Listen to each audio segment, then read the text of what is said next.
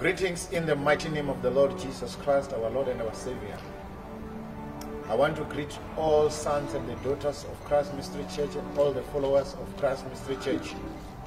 Today, as you all know, that this is the day that we need to celebrate the death of our Lord Jesus Christ. Many call this day of today the Pentecost, the day where everyone, where every religion, it could be Christianity, it could be any religion, those that believe in Christ, they are celebrating this day today. However, we celebrate this day differently.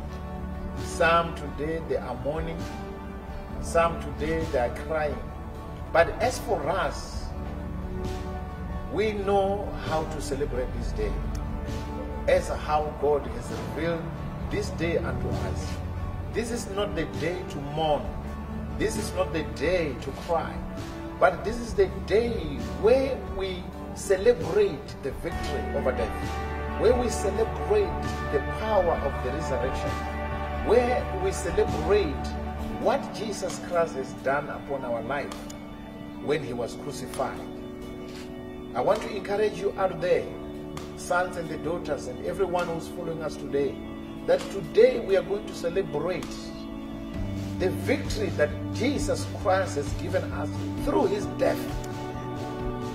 Last week we preached about the first Adam, and we said Adam came and through and sin came through him. However, Christ came in order to finish the first Adam. We are here today celebrating the first fruit, which was Jesus Christ, the Messiah, the Christ, the anointed one of God.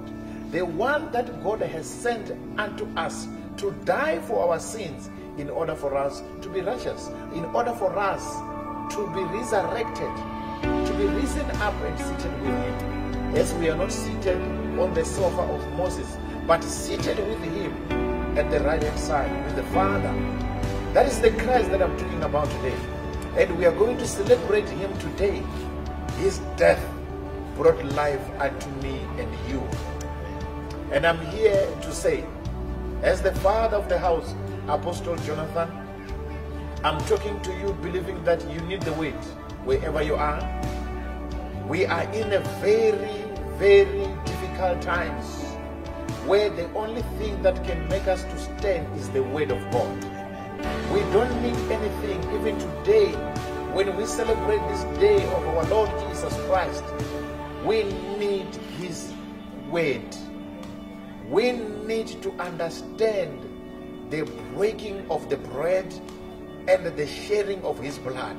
What is the meaning unto us as Christians? Blessed all over the world, sons and the daughters, and all my pastors wherever you are. I greet you all again. And I say, stay tuned and believe that this word that I'm going to speak today, is from above. It is not my word because there is nothing that the Son can do without the Father. And there is no one who knows the Son except the Father.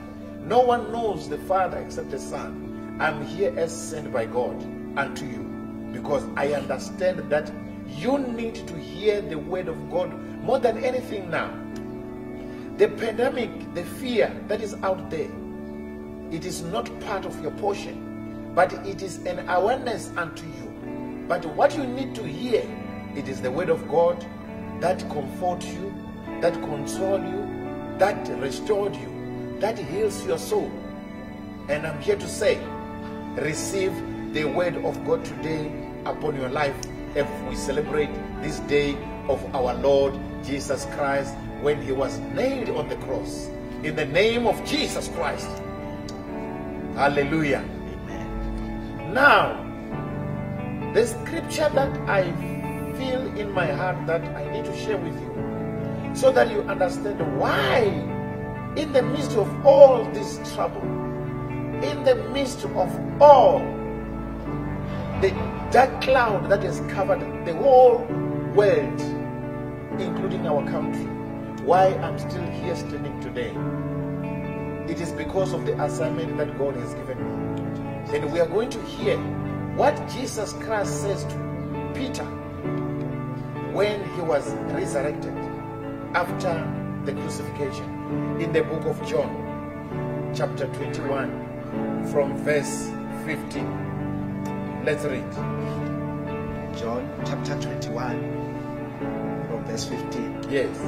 When they had finished eating, When they had finished eating, Jesus said to Simon Jesus Peter, said to Simon Peter, Simon, son of John, Simon, son of John, do you love me do more than you these?" love me like this? Yes, Lord, Yes, Lord. He That said- was Peter. he said. He said, You know that I love you. You know that I love you. Jesus said, Jesus said, Feed my lambs. Feed my lamb. Again, Jesus said, Again, Jesus said, Simon, son of John, Simon, son of Jonah, do you love me? do you love me? He answered, He answered, Yes, Lord, Yes, Lord. you know that I love you. You know I love you. Jesus said, He is coming back for the third time. Take care of my sheep. Take care of my sheep. That is was Jesus. Verse number 17. Verse number 17. The third time The he third said, time now, Simon John, Simon, son of John, the son of John, do you love me? do you love me? Peter was hurt Peter was ahead and he was troubled because Jesus asked him for the third time, because it was for the third time. Do you love me? Do you love me? He said, He said, Lord, Lord, you know all things. you know all things. You know that I love you. You know I love you. Jesus said, Jesus said, Feed my sheep. Feed my sheep. Just hold, hang on there. Why I'm starting with this scripture, I want you to understand that Jesus Christ asked Peter this question because he knew that the time like this will come where Jesus Christ will not be seen in our midst physically so. However, he will be in our midst in the form of his spirit because God is the God is spirit and he is God that needs to be worshipped in spirit and in truth. He asked this question to Peter because he knew that when he is no longer with the disciple, possibility are the disciples can go back to their original life. Peter could go back to the former life of catching the fish. But Jesus Christ was not interested in the business of Peter. He was interested in his ships. Hence he asked him three times, Peter, do you love me? Peter, do you love me? And the only interest that Jesus Christ was having was for Peter to feed the ships. I'm here to feed you as my ships. That is the assignment, that is the mandate that God has given me. I have no other assignment.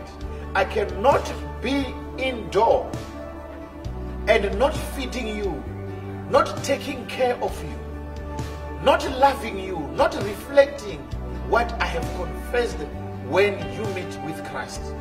When you receive Jesus Christ as our your Lord and your Savior, He has given us the assignment to take care of you.